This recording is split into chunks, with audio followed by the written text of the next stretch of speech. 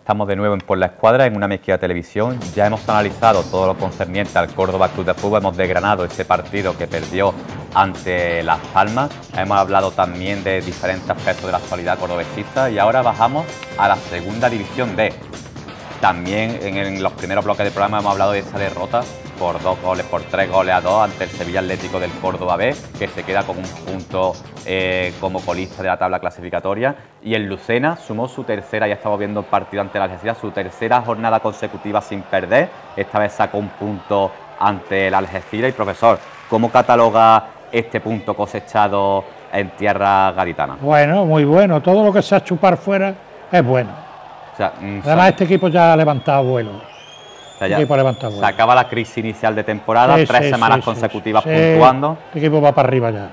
Además, un partido importante por el Algeciras también de la zona media de la tabla y para seguir ahí el Córdoba, el Lucena, mm, cerca de la zona alta, mm, era importante no perder. Ahí hemos visto como también estuvo... Tiene un equipo con 7 8 veteranos, que es lo que esta categoría requiere a la gente joven le cuesta mucho trabajo jugar aquí. Y no fue timorato en, ataque, tuvo también ocasiones para, haber ganado el partido.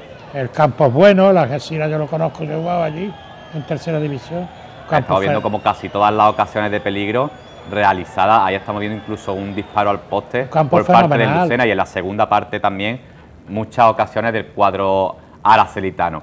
Estos son los resultados de la jornada número 7 del grupo cuarto con el Ecija 2, El Palo 0, Algeciras 0, Lucena 0, Cádiz 0, La Olla 0, San Fernando 1, Albacete 3, Cacereño 1, Arroyo 0, La Roda 0, Melilla 0, Cartagena 1, Almería B 0, Sevilla Atlético 3, Córdoba B 2, Granada B 1, Linense 0 y Guadalajara 2, Sanluqueño 1. Después de estos resultados, la clasificación que está comandada por uno de los históricos de la categoría, como es el Albacete, con 16 puntos, seguido por el Linense, Granada B y Cádiz, que de ser mm, líder hace algunas jornadas, después de perder en Lucena y empatar esta última semana, ya es cuarto con 14 puntos. El Lucena décimo con 10, a tan solo 4 puntos de la fase de ascenso.